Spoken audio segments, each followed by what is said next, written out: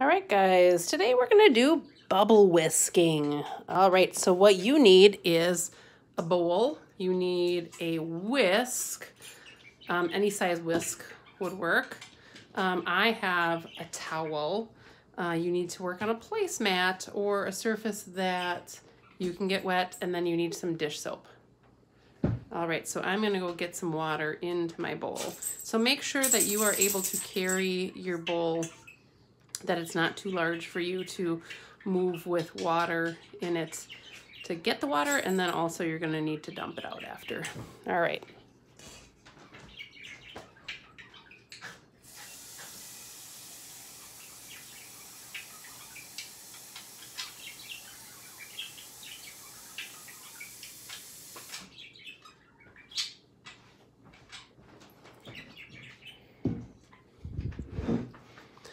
All right, guys, so you can see I didn't fill it up. A little less than half. All right, so now I'm gonna pour some dish soap in there.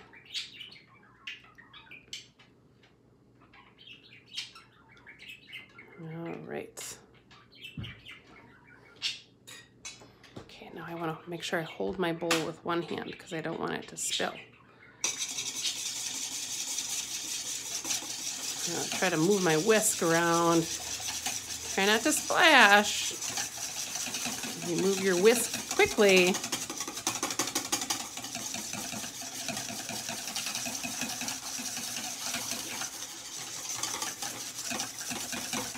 See, I'm going in a circle.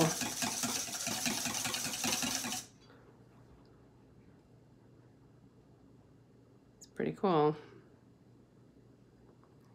All right, I'm gonna kind of push my soap to one side and I'm gonna whisk a little bit more to see if I can get a little more suds. I think I can.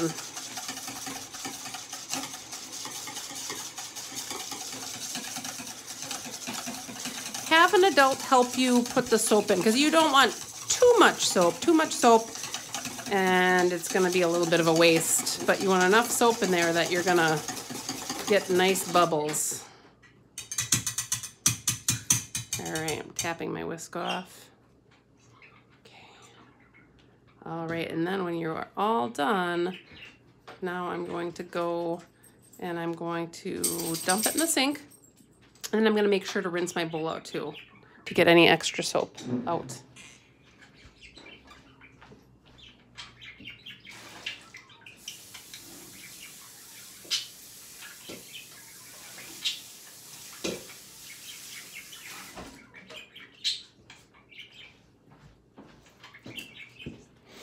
All right, I have my towel in case I splash any out, which I did not splash any out, but I am gonna dry off my whisk. And then I'm gonna dry off my bowl. All right, guys, now it's your turn.